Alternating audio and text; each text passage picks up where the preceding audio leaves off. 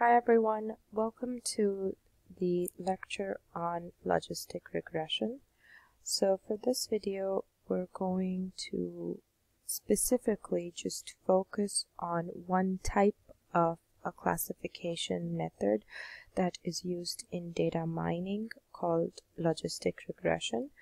Um, just like the name suggests, it uses the basic regression analysis premise but what's different about logistic regression is that it helps us in classifying binary or categorical variables. So the reason why we have used regression analysis in the past is to find out the relationship between our y variable, which is our response variable, and we want to know the, the values for that variable, um, so we're using our x variables or the predictor variables to help us predict the values for y. Uh, the logistic regression model, just like the regular regression model, gives us a regression equation that we can then use in the prediction of our y variables. Now, uh, like I mentioned before, logistic regression is a type of a classification technique where we want to um, have a model that is going to help us predict the class of a certain observation.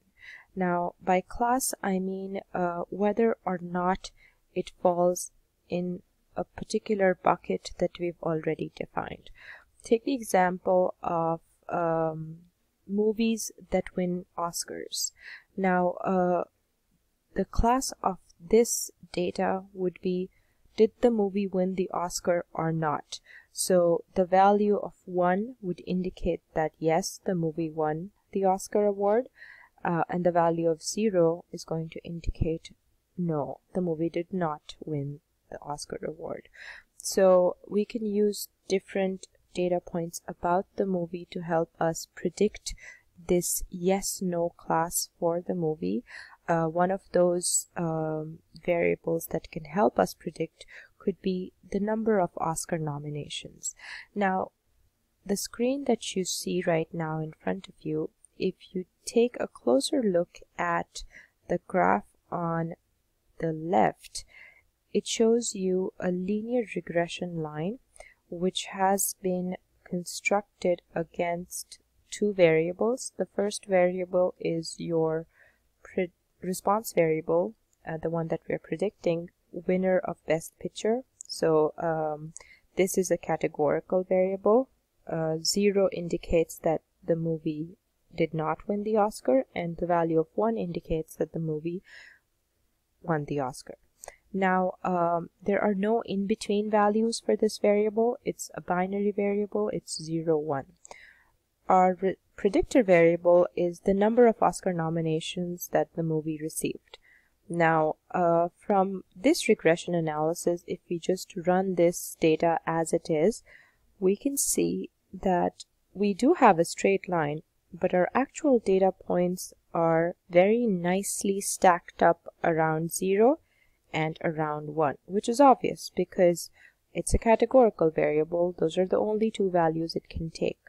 So the problem with this analysis is that not only it's it shows a pattern of misrepresentation because of this obvious pattern between the categorical variables and our response variable or sorry our predictor variable but it's also not a good fit as you can see from the low r square.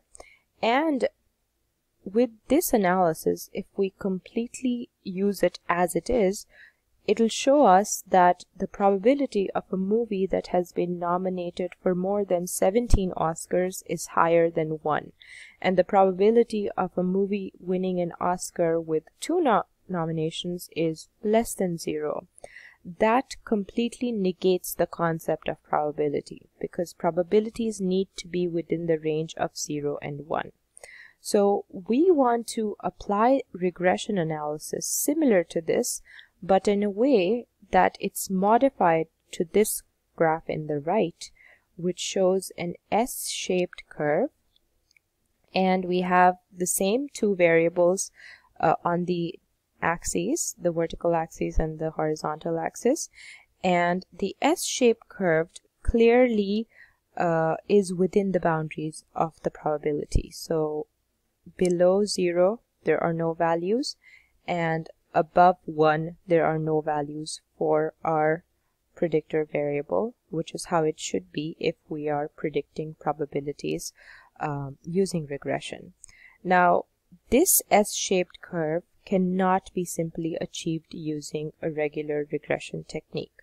We have to do some data transformation in order to get to this stage to apply regression analysis to our model. So if you take a look at your regular regression equation, it's usually the general format looks like this, where y is our predictor variable, uh, where our y is our response variable, sorry. Uh, beta 0 is the y-intercept.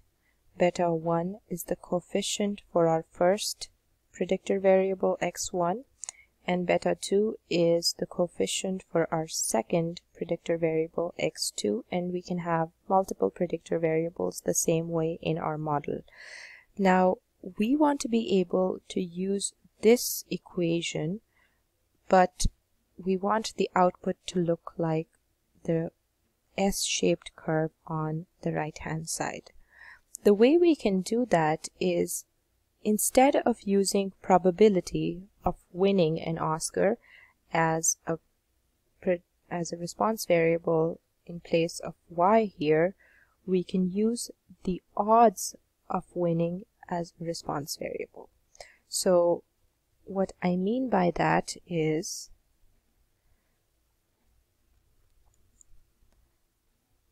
instead of using the same equation as give me one second.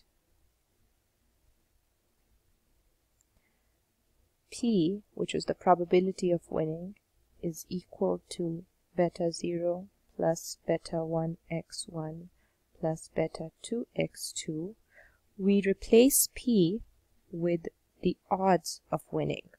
So generally odds are used a lot in gambling terminology and as well.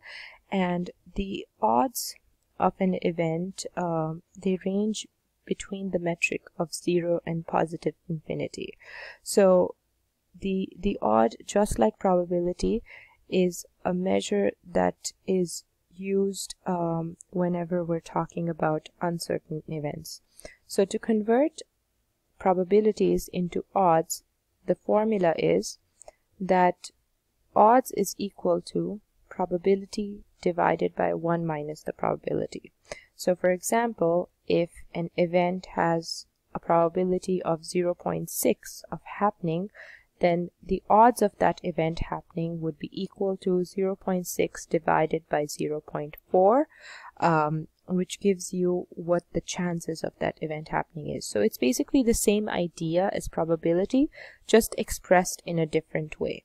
So with the help of replacing P with odds instead, what we've done is, because odds is now not limited to the 0, 1 range, instead it's limited to the 0 to positive infinity range, we've gotten rid of the upper bound on our y variable, which was initially 1, now we don't have an upper bound because we've transformed our y variable.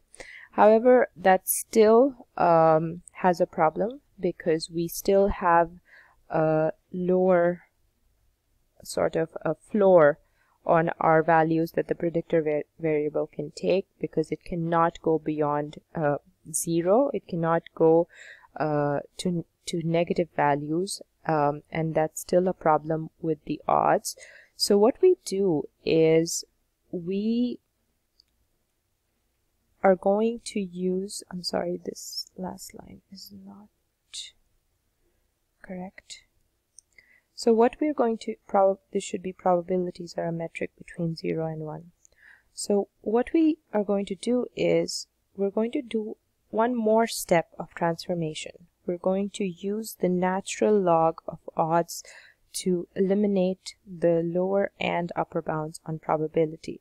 So essentially, um, for this regression equation that we have identified earlier, instead of just using p is equals to the regression equation, so instead of predicting probability, we are now predicting the odds using the regression equation. But we're not using odds on its own. We are taking the natural log of the odds and equating that to the regression equation. So basically we're not calculating y on its own using the regression equation. We're calculating a transformed value of y uh, using the regression equation. What this does is it helps us predict this relationship which we can then reverse engineer to get to the value of p which is what we really want. So in order to explain this slightly more clearly, uh, I'm going to use an example uh, in Excel and then we're going to run the regression model in R because uh, logistic regression running it in Excel uh, it can be cumbersome and sometimes not accurate. So we're going to switch softwares and move to R but I'm I'm going to still do my simple and basic analysis uh, in Excel because it's easy to use and everybody is familiar with it. But the only part that I'm going to run in R is the actual regression part which is going to help me identify the values for these coefficients which I can then take back to Excel and backtrack to the probability of winning or losing. So we're going to move to an Excel sheet um, to, to analyze the logistic regression using an example. Uh, the Excel sheet has been provided to you so you can um, work along with me in order to get the results and compare your results with the results that I get. So let's start off with our example. The example that we're using in order to run our logistic regression model is um, using email data.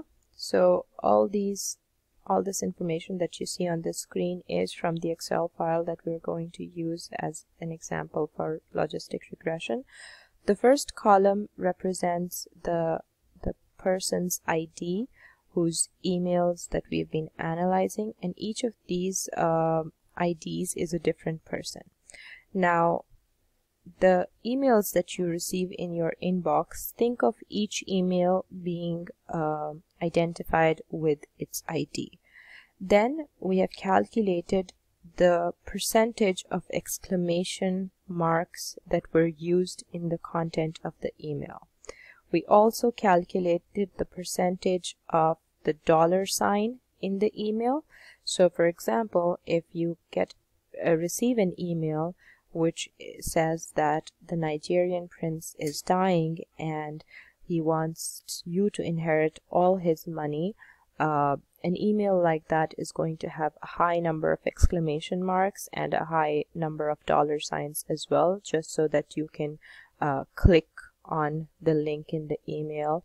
So these these type of emails are clickbait emails and we're using this these two attributes to classify the email as spam or not spam.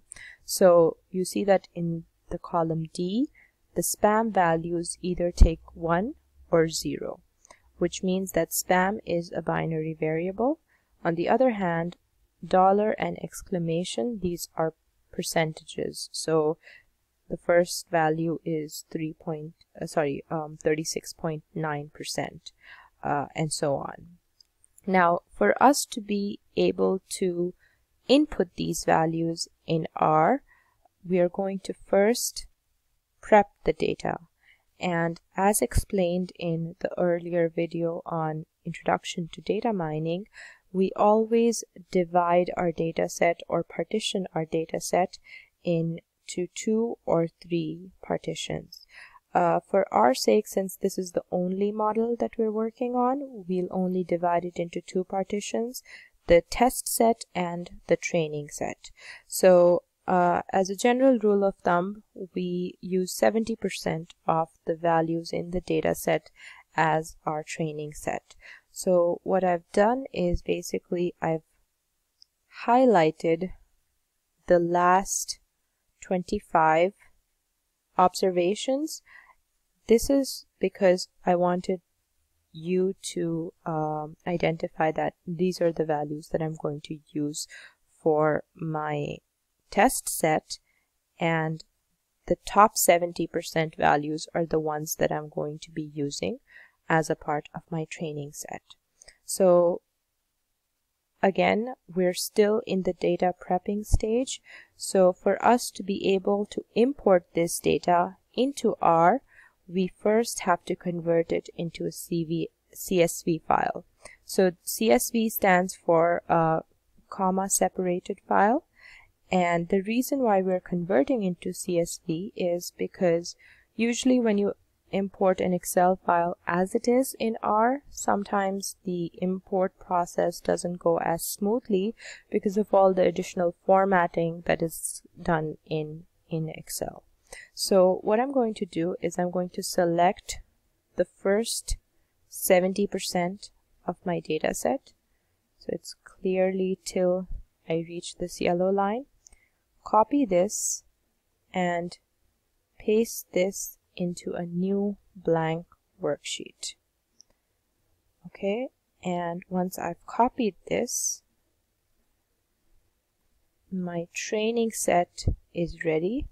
I'm going to save this as a CSV file. So if you scroll down, instead of saving it as an Excel workbook, we're going to save it as a .csv file and I'm going to name this file spam data. Now, just a word of caution, whenever you're going to be using files in R, don't use spaces in the naming of the file because R is not very good with spaces. It's not very good with characters. It gives you errors um, for those reasons. So you'll see that I used the title spam data, but I didn't add a space here. I just used the capitalization to denote the new word um, that has started here. So once I save this, now my training set is ready to be imported into R. So I'm going to open up RStudio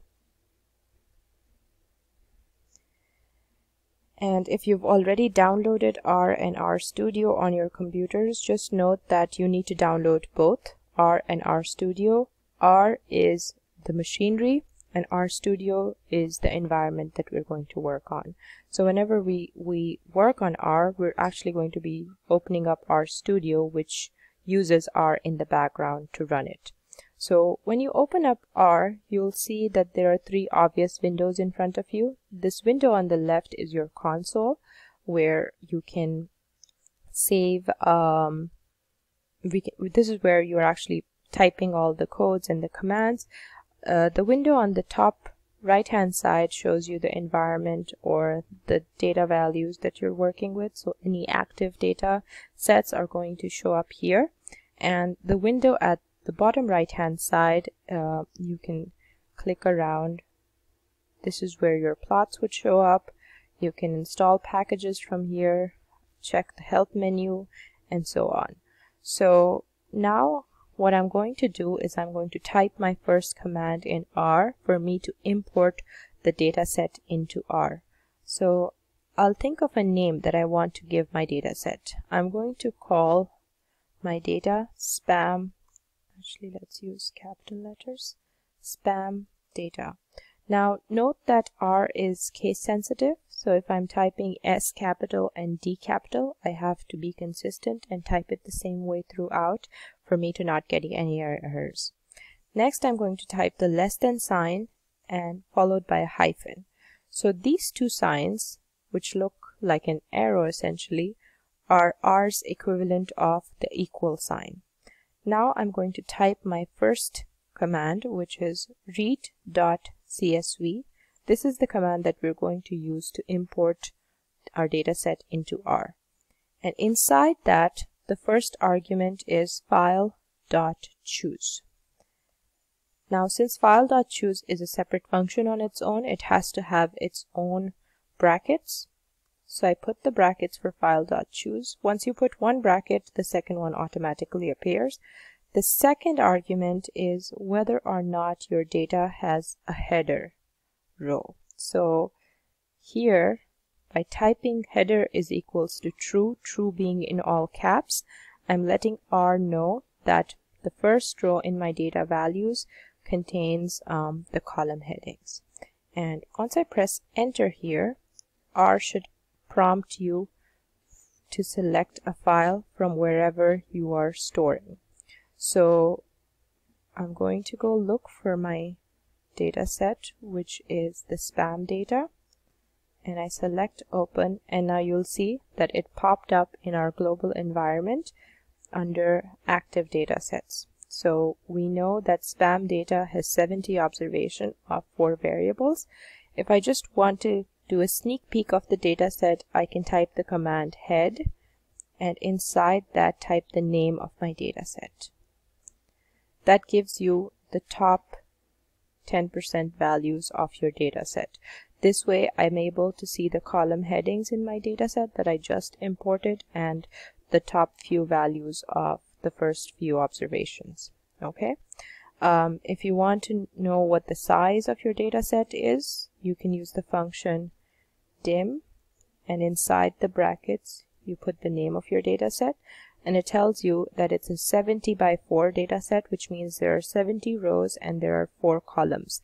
So you can see that um, it's pretty easy to tell in R although you cannot see the actual data set like you can see it in Excel it's still you can still see what's going on in the data set. So now my data set is ready for the regression analysis to be run to run the regression analysis I'm going to name my model. Let's call this model 1 okay? And again I'm going to use R's equivalent of the equal sign the less than followed by a hyphen. And I'm going to use the GLM function which is a function for re linear regression models generalized linear regression models. And inside this function the first argument would be the relationship that I want in my equation. Then the second argument would be the data file that I want to run the regression on and then the third file uh, the third argument would be the family of regression models that I'm using. So the first one is that I want to find out the relationship between spam data, the column spam, and I want to relate it to through regression to exclamation and dollar. So again, I'm going to type my data set's name spam data dollar sign exclamation plus spam data dollar sign dollar so this dollar sign is R's notation of identifying which column are you referring to in this data set. So I have to do this because if I'm working on multiple data sets, this helps R identify which columns in which data set I'm referring to. And this squiggly sign, tilde, is R's notation for running regression. So essentially this is your Y variable and then after the squiggly sign tilde you put your X variables. If I had only one I would have stopped here but I have two so I added plus another one and similarly I can keep going on. The next argument is data is equals to spam data and finally the last argument is family is equals to binomial and bracket signs and then enter. So now since I did not get any errors in my console it means that R was successfully able to run the model. And if I just type model 1